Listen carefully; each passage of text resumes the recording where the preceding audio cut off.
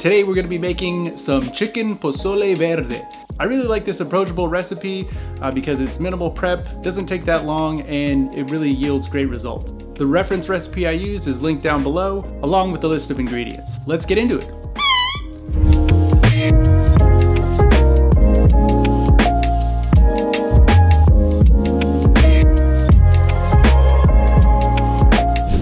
Start by adding salt and pepper to both sides of the chicken thighs, then in a large pot on medium-high heat, add some oil.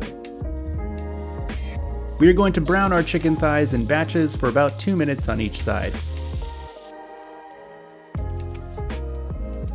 This first step is optional and not in the recipe link below, but I feel like we can get some extra flavor going this route. Add some extra oil if you need to, and set your chicken aside when all sides are browned.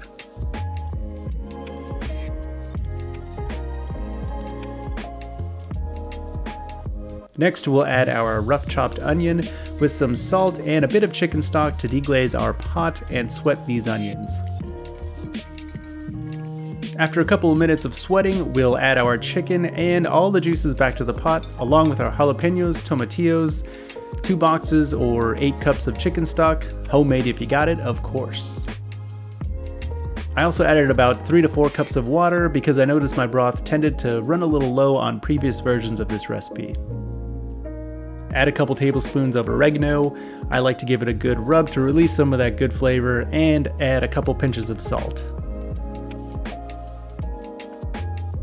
Give your pot a stir and bring it to a boil. Once you've got a rolling boil, bring it down to simmer for about 40 minutes. While our soup simmers, we can work on prepping the garnish.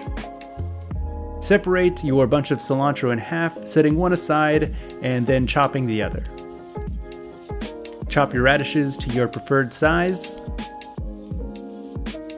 Slice your cabbage as long or short as you prefer. Dice your remaining three jalapenos. Shout out D-Vein Gang, remove those seeds and veins if you want to keep it a little milder. Next, slice your limes into eighths or your preferred cut. And the last bit of prep is rinsing our two cans of hominy. Back to our soup. After 40 minutes, use tongs and a slotted spoon to pull the chicken and veg into separate bowls. While the jalapenos, tomatillos, and onion cools down, use two forks to shred that chicken.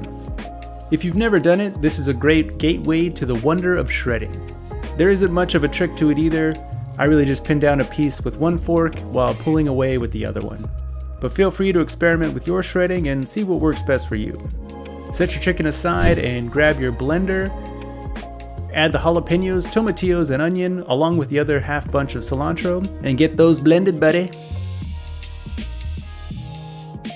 Look at that, some green salsa magic right there. Add the shredded chicken back to your pot Add your hominy and add that green gold to the pot.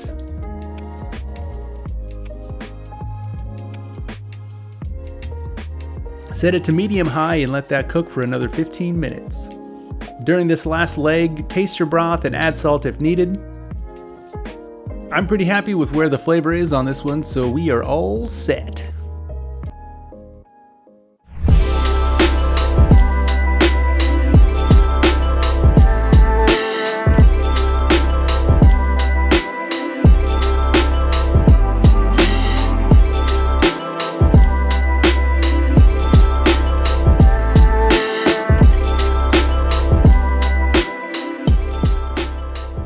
See how it turned out.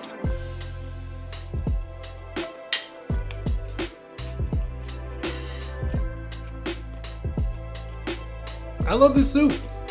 Ooh, got a little bit of spice from the jalapenos, a little bit of tang from the tomatillos, and then the lime kind of just really blends everything together. And I like the texture from the cabbage and also the radishes, sort of give it, give it a little bit of crunch.